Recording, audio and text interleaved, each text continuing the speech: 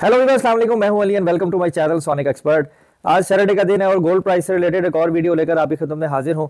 आलमी मार्केट जो है वो फिर से थोड़ा सा ड्रॉप कर गई है। कल जो आउंस दो हज़ार अड़तीस डॉलर पर था, वो आज 2020 पर है। अभी 18 डॉलर वन ट्राई आउंस के ऊपर जो है वो डिफरेंस आया है नीचे की तरफ़, यानी गोल्ड दोबारा से सस्ता हुआ है। जैसे कि मैं बता रहा हूँ आपको कि आजकल के दिनों में जो है वो डेली बेसिस के ऊपर प्राइस जो है ना वो प्लस माइनस में हो रही है। तो इसमें बड़ा मुश्किल होता है कि अब हम ख़रीदें या बेचें।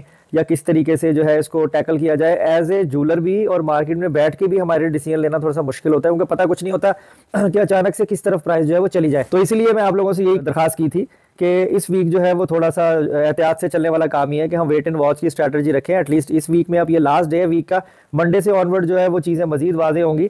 जैसे कि पाकिस्तान में पेट्रोल की प्राइसेस कम हुई हैं, उसके अलावा डॉलर भी इंटरमैंक में मजीद तीस से चालीस पैसे कम हुआ है। और इकानमी को मजीद बेहतर करने के लिए ट्राइयाँ जानी है, सारे इलेक्शन की प्रिपरेशन है। और ये जो जनवरी के मिड और फरवरी के एंड का जो बता रहे हैं, वो इसी से रिलेटेड ही है कि इसमें आर्मी मार्केट भी स्पाइक हो सकती है और पाकिस्तान में डॉलर का रेट भी महँगा हो सकता है। तो अगर हम गोल्ड की प्राइस की बात करें जो अब लोकल मार्केट में प्राइस होनी चाहिए या जो इस वक्त ओपन हो चुकी है, वो मैं आपसे बताता हूँ। वो जाने से पहले गुजारिश करूँगा उन लोगों से जो वीडियो पर फ़र्स्ट टाइम आए हैं काइंडली चैनल को सब्सक्राइब करें और बेल आइकन ज़रूर दबाएँ ताकि उन्हें आने वाली वीडियोज़ का नोटिफिकेशन मिले। अब अगर हम बात करें ना गोल्ड के रेट की तो इस वक्त जो चौबीस कैरेट का रेट है, वो दो लाख सोलह हज़ार पाँच सौ रुपये फ़ी तोला है। और जो लोकल है, जिसे पठूर कहते हैं, दो लाख तेरह हज़ार पाँच सौ और वन ट्रॉय जो है, वो दो हज़ार बीस के ऊपर है। अगर इंटरबैंक में डॉलर की बात करें 283.26 पर है और 285 से 288 में जो है वो ओपन मार्केट में सेल हो रहा है अपनी उसके डिमांड के अकॉर्डिंगली अगर दुबई की बात करें दो बीस पाँच सौ दो इक्कीस के पैरामीटर में, और अगर पेशावर की बात करें तो दो लाख चौबीस हज़ार पाँच सौ रुपये फ़ी तोला जो है, वो बताया जा रहा है। अब देखें, अब एक और बात जो डिस्कस हो रही है, वो ये हो रही है कि डॉलर की प्राइस जो है, वो मज़ीद सस्ती हो सकती है। अब अगर डॉलर सस्ता होता है, आलमी मार्केट में गोल्ड भी कि वन ट्राई आउंस भी सस्ता होता है तो सोने की कीमत मज़ीद नीचे जा सकती है। उसके अलावा जो है वो डाटा की बुनियाद के ऊपर आगे फर्दर तो कोई ऐसी चीज़ें शेड्यूल नहीं है, जो मेरी इन्फॉर्मेशन आई है, लेकिन फिर भी न्यूज़ की बुनियाद पर या फर्दर किसी अफेक्ट की वजह से गोल्ड की प्राइस जो है, वो ऊपर नीचे हो सकती है।